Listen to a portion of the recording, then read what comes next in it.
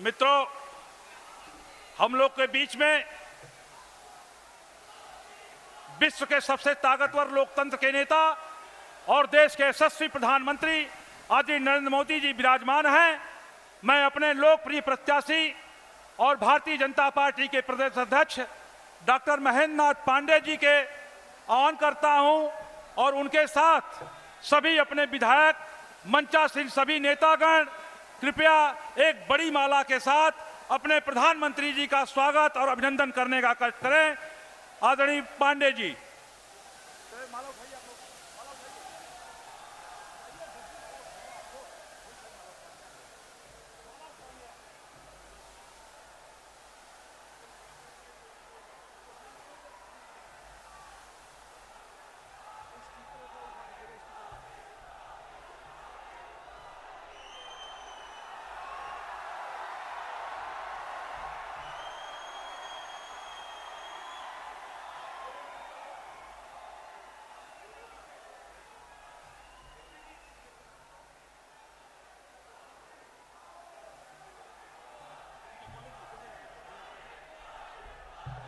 मित्रों, आपके लोकप्रिय विधायक सुशील सिंह जी से चाहूँगा कि वो गदा देकर के अंगबस्तम देकर के स्वागत करें।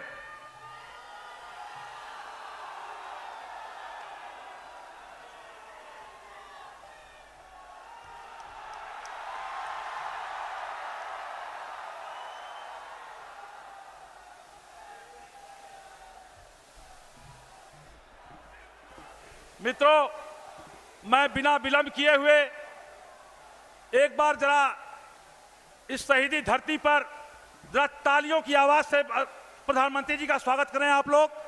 और अब मैं अपने विकास पुरुष, लोकप्रिय सांसद, आदरणीय डॉक्टर महेंद्र नाथ पांडे से चाहूँगा कि वो आए और माननीय प्रधानमंत्री जी का स्वागत भाषण करें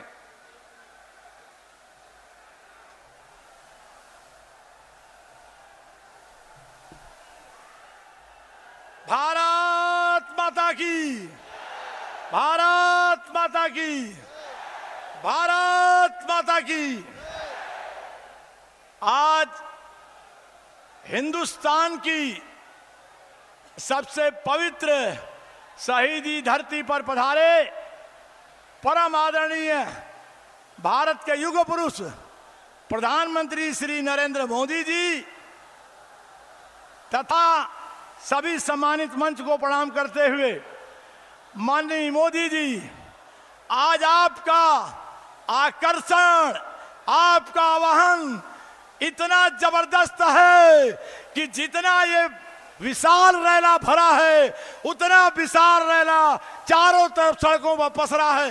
सभी आपका हार्दिक अभिनंदन करते हैं। एक बार खड़े होके बोलिए, जय जय श्री राम जय जय श्री राम जय जय श्री राम मुझे केवल एक मिनट में माननीय मोदी जी यह धरती थानापुर शहीदी, चोलापुर इसी लोकसभा में शहीदी, सैयद राजा इसी लोकसभा में शहीदी, धरती ने जिस लिए बलिदान दिया, एक मज़बूत विकसित दुनिया में ताकतवर भारत, उस भारत को आप नरेंद्र मोदी जी दुनिया में ताकतवर मज़बूत देश बना रहे हैं।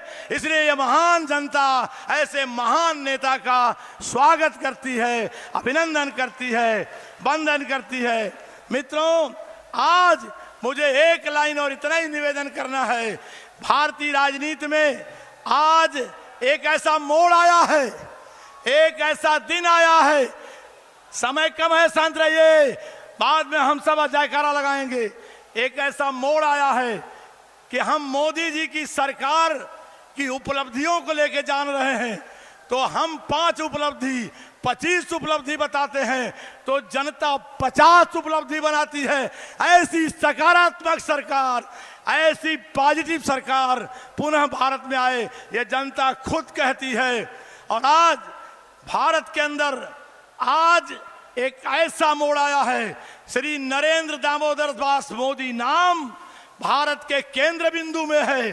सारी राजनीति आज नरेंद्र मोदी के चाहने वाले लाखों, लाख करोड़ों के साथ और कुछ उनका नफरत करने वालों के बीच में है। आज मोदी जी के नाम का संपूर्ण विश्व में लोकतांत्रिक देश भारत में जनमत संग्रह है। यह जनमत संग्रह इस चंदौली सहित पूर्वांचल सहित, उत्तर प्रदेश सहित 300 लोकसभा सीटों के पार ये जनमत संग्रह मोदी जी आपका अभिनंदन, आपको लोकसभा में सीटें 300 से अधिक देके करेगा। उसमें शहरी धरती भी आगे रहेगी। हम आज के इस अवसर पर आपको इस कृषि प्रधान वाराणसी चंदौली से जुड़े इस क्षेत्र में आपको इस नाते स्वागत और करते हैं। यह उम्मीदों से भरा क्षेत्र है। आपने चंदौली में आके 2014 में उम्मीदें जगाई, आपकी अपील पर मुझे जिताया। जनता ने आपके आशीर्वाद से और आपने जिम्मेवारियाँ दी। बहुत से काम हुए, लेकिन ये कृषि प्रधान आज आपके आह्वान पर जो किसानों की आय दुगुनी की उम्मीदों पर जो लगातार आपकी सरकार काम कर रही है, इस उम्मीदों से भरे विकास की श्रृंखला में हिंदुस्तान में आगे जाने वाले चंदौली में आपका कोटि कोटि अभिनंदन करता हूँ, वंदन करता हूँ। भारत माता की। नरेंद्र मोदी जिंदाबाद। मोदी है तो। मोदी है तो। मोदी है तो। बोले किनाराम बाबा की। बोले मारकंडे महादेव की।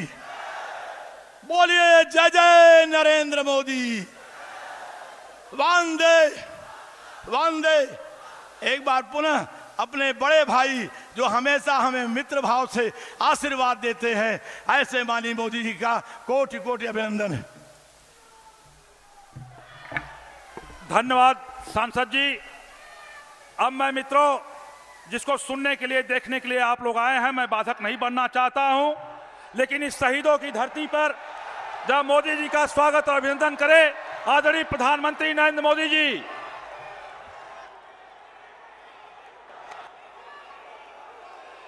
करें।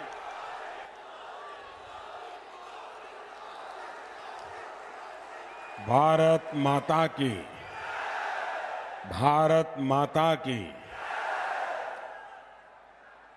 मंच पर विराजमान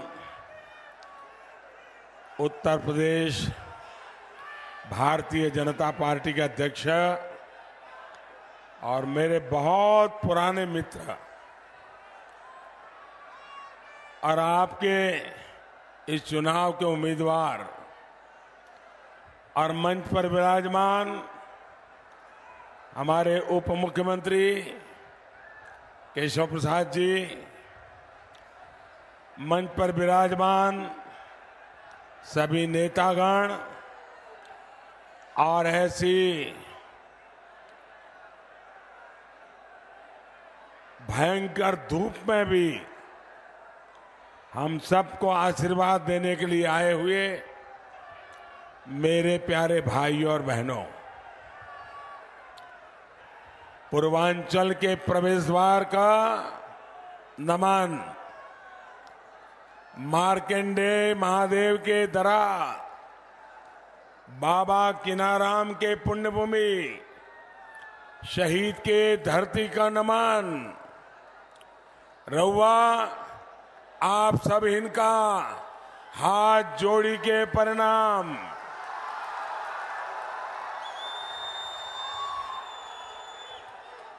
भाई और बहनों, दो दिन बाद 19 तारीख को आप सभी को, पूर्वांचल को, अपने इस बेटे के लिए भारी संख्या में बूथ पर पहुँचना है।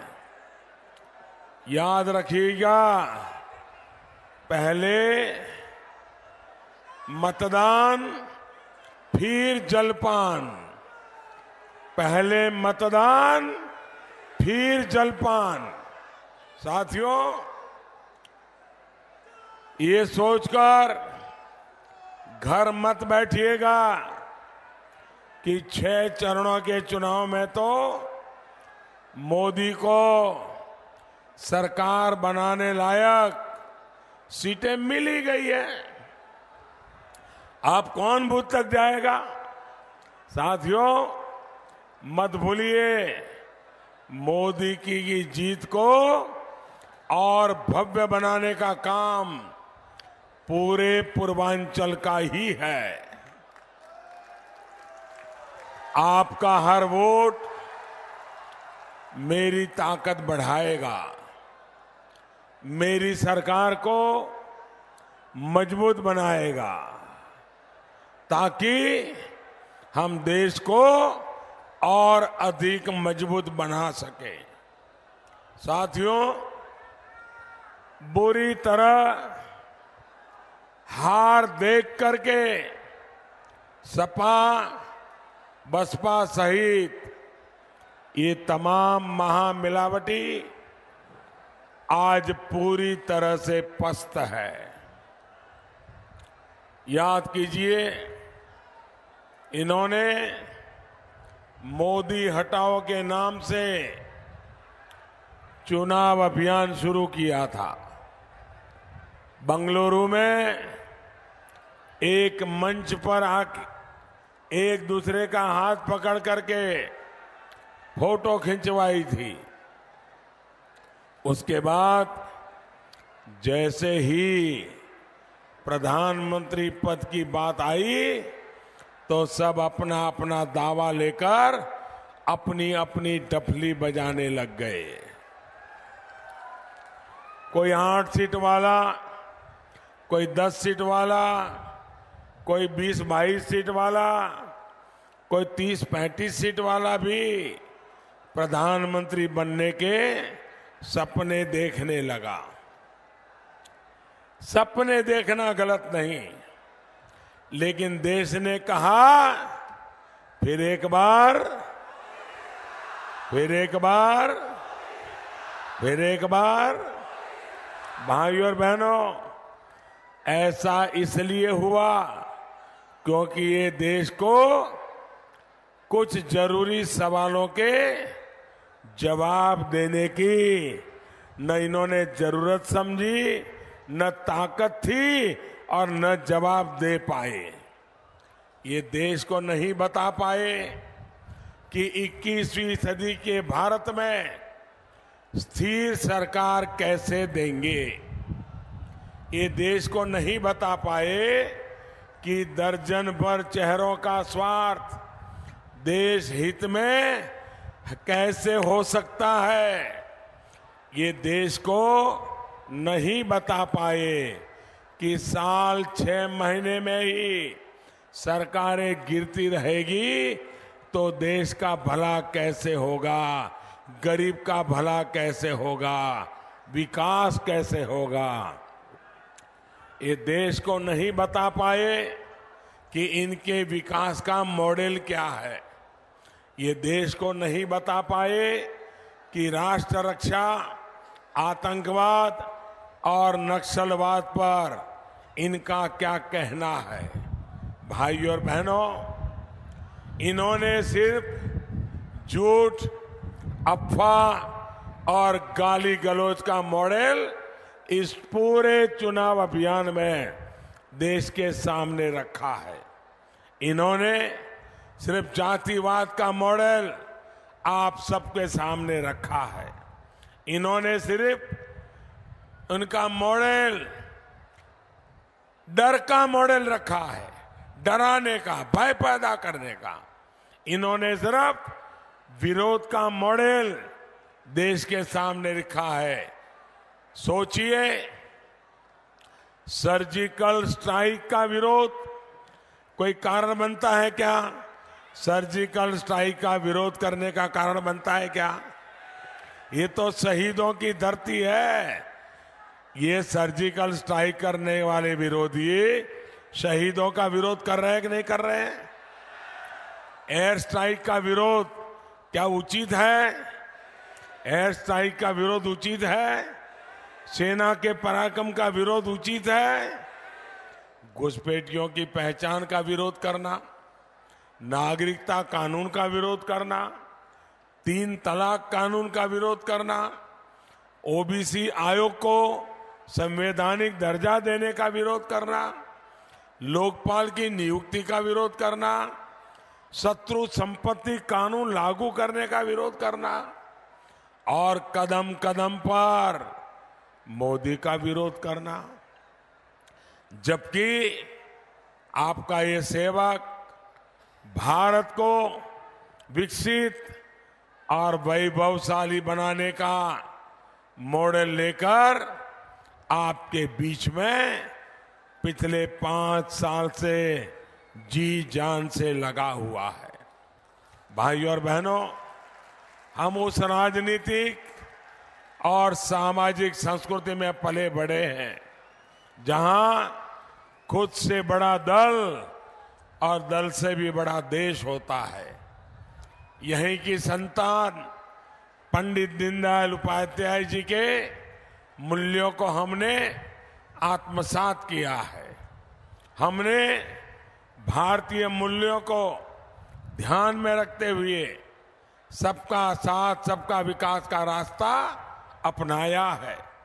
साथियों, निस्वार्थ भाव से, समर्पित भाव से सेवा का ही परिणाम है कि आज भारत की दुनिया भर में जय जयकार हो रही है। हमारी संस्कृति, हमारे ज्ञान विज्ञान को लेकर दुनिया पहले से कहीं अधिक चर्चा कर रही है।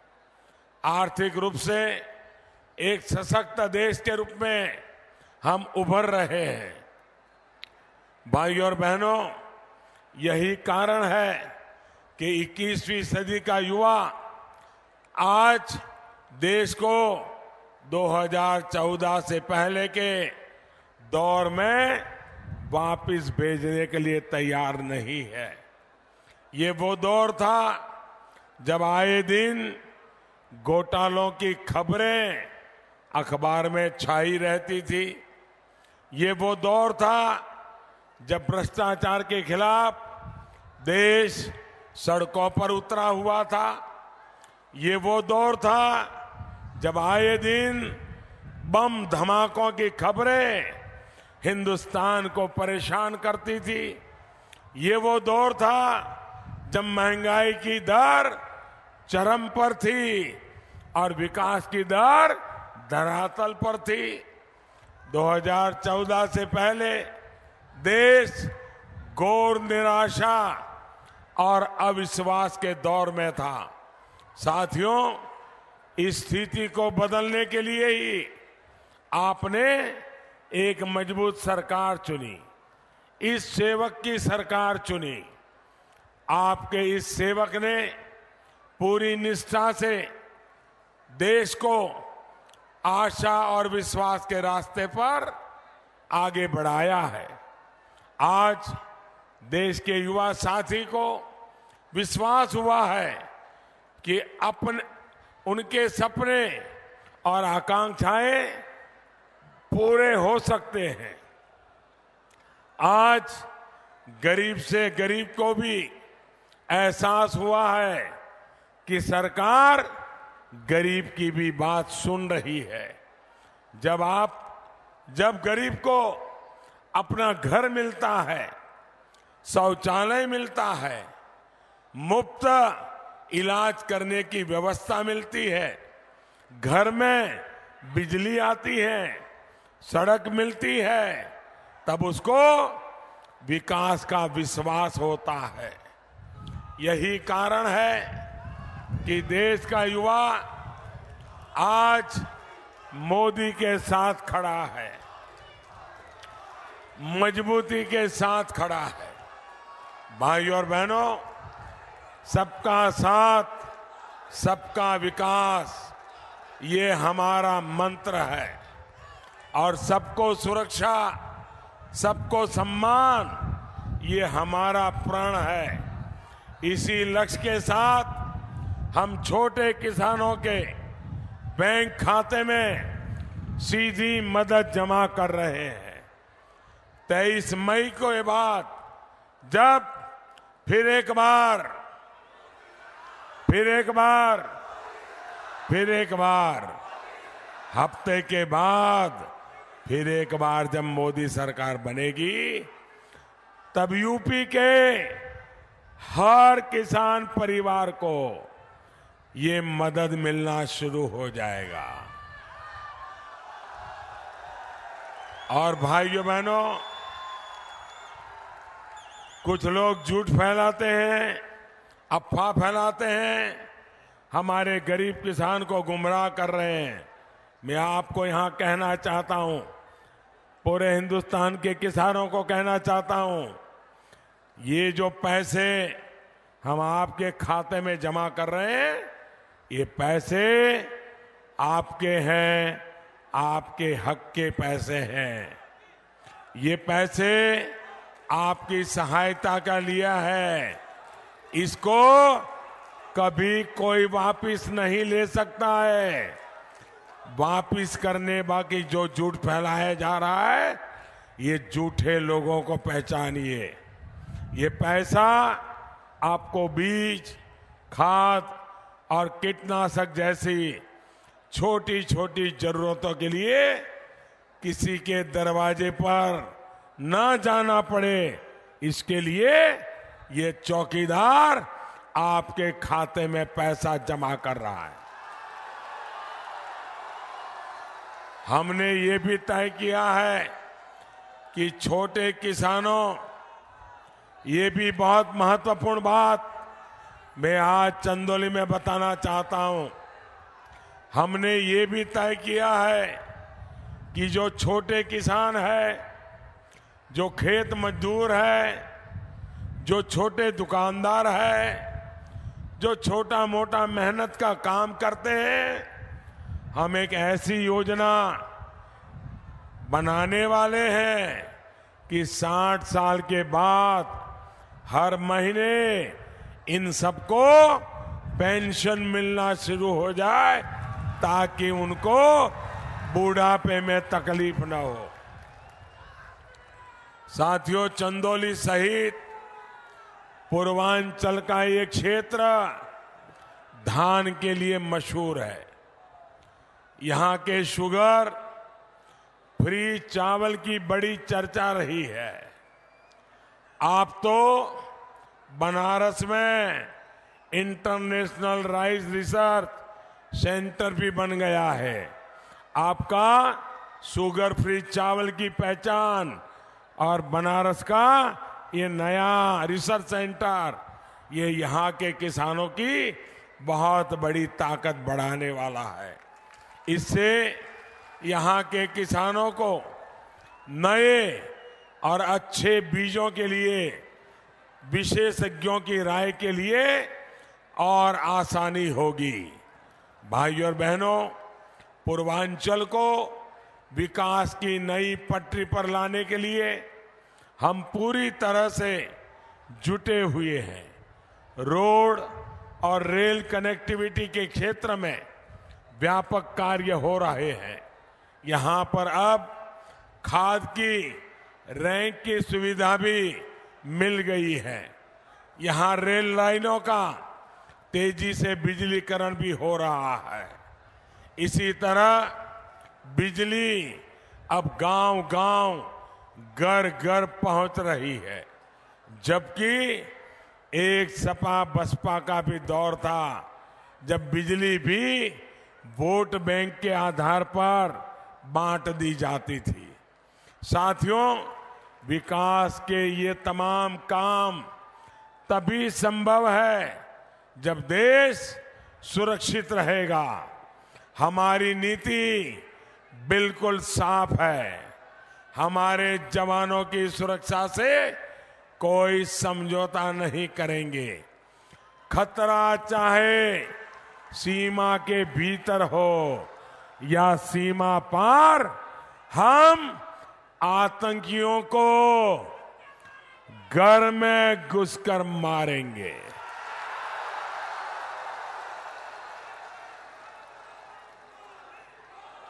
भारत का खाकर पाकिस्तान के गुणगान गाने वाले अलगाववादियों के साथ हम सख्ती से निपट रहे हैं। भाई और बहनों, उत्तर प्रदेश का मुझ पर इतना स्नेह रहा है, इतना आशीर्वाद रहा है कि यूपी के लोगों ने मिलकर 2014 में 30 साल बाद देश में पूर्ण बहुमत वाली सरकार बनवाई। अब 2019 के चुनाव में भी यूपी के मेरे प्यारे भाइयों बहनों ने जो काम किया है, और दिल्ली में एयर कंडीशन कमरे में बैठकर पॉलिटिकल ज्ञान परोसने वालों के सारे गुणा गणित को उत्तर प्रदेश के समझदार मतदाताओं ने पूरी तरह गलत साबित कर दिया है। इस बार के चुनाव में भी पहले चार पाँच चरण में ही यूपी के लोगों ने भाजपा की पूर्ण बहुमत वाली सरकार पक्की कर दी है। यूपी ने एक मज़बूत सरकार के लिए, बुलंद हौसले वाली सरकार के लिए मतदान किया है। साथियों, ये मेरा सौभाग्य है कि अब बंगाल यूपी की तरह ही हमें भरपूर आशीर्वाद दे रहा है। जैसे आपने 2014 में ठाना था कि पूर्ण बहुमत की सरकार बनवाएँगे, वैसे ही 2019 में बंगाल ने बीजेपी को इस बार 300 सीटें पार कराने की ठान ली है। भाई और बहनों, सुरक्षित, सक्षम, सशक्त और समृद्ध भारत के इसी संकल्प को और मज़बूत करना है। बूथ बूथ पर कमल खिलाना है। आपका हर वोट सीधा सीधा मोदी के खाते में आएगा। आप यहाँ भारी संख्या में हम सबको आशीर्वाद देने के लिए आए। इसके लिए मैं आपका बहुत बहुत आभार व्यक्त करता हूँ।